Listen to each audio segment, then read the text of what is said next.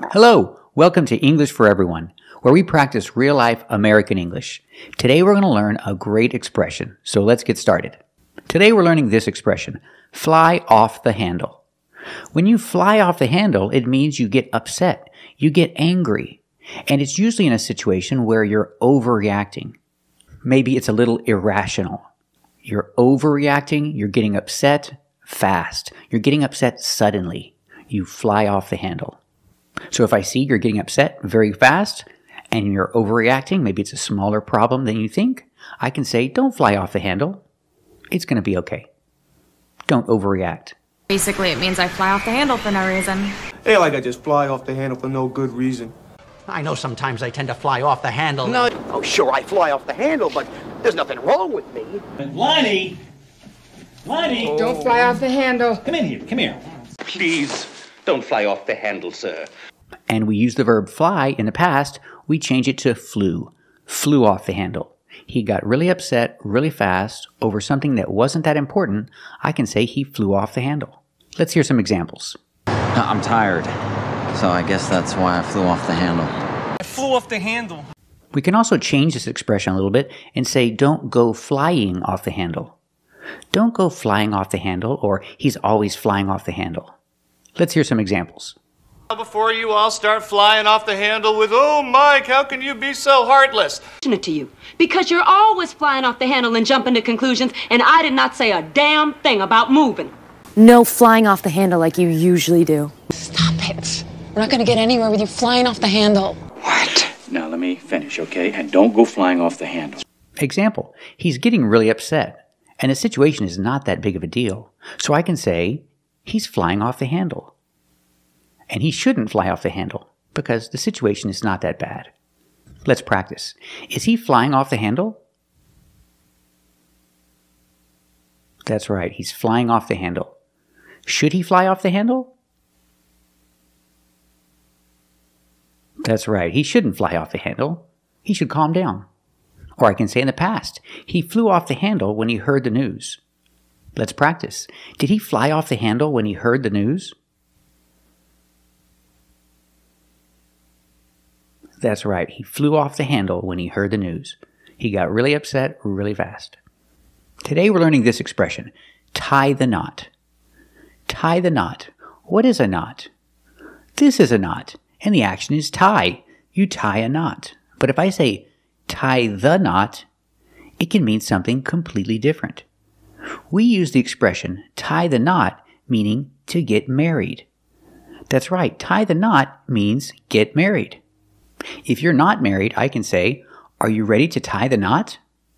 Meaning, Are you ready to get married? And you say, No, I'm too young. I'm not ready to tie the knot. Let's hear some examples. Now my Sadie Jones is going to tie the knot. I am. When you're ready to tie the knot, I know the perfect wedding planner. These two lovebirds are finally tying the knot. But don't ask Miss Lane when they're tying the knot, because she hates that question. She wants to tie the knot as much as you do. Don't forget that. It's great to see so many people turn up to see Josh finally tie the knot. I had to find out before we tied the knot. He and Miss Getz tied the knot in Vegas after Comdex, 1979. They were young programmers. They... Our friend Hazelnut is tying the knot on Sunday. Yeah? Oh. So, all right, so long, jerk offs. So, he's 21 years old. He just finished college. And he's young. He's not ready to get married. He's not ready to tie the knot.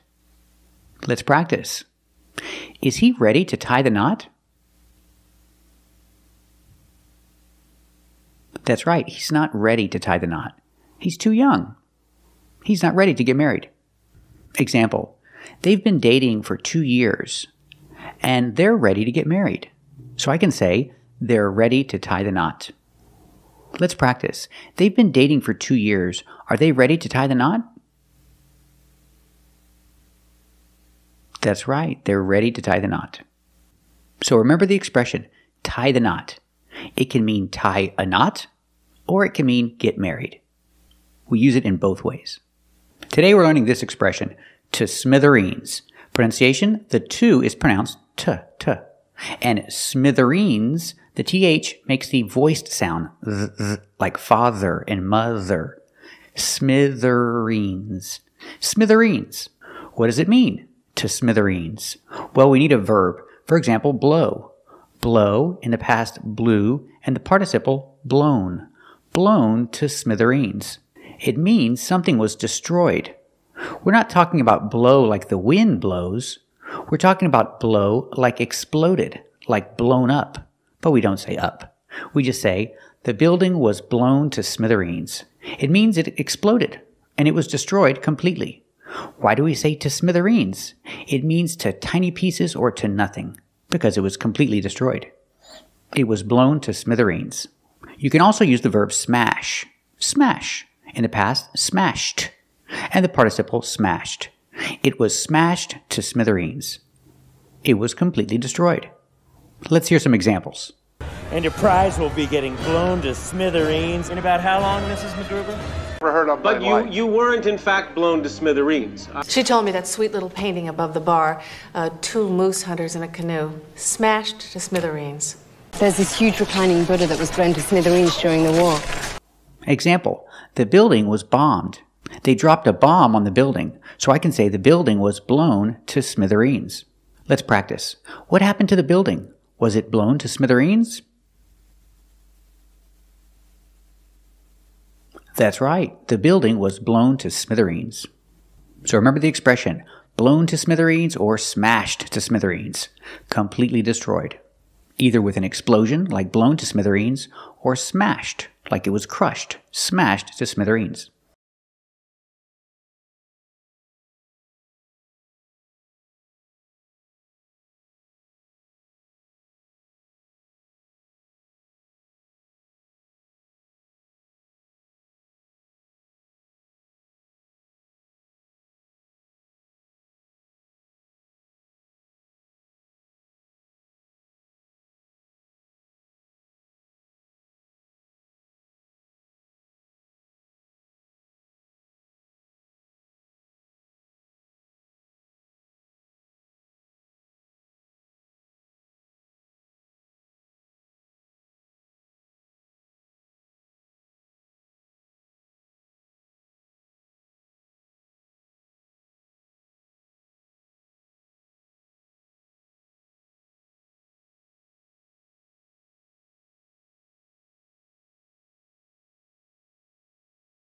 Thank you for watching, and if you like this video, subscribe to our channel. And if you want to become a member, click the join button. And we'll see you next time.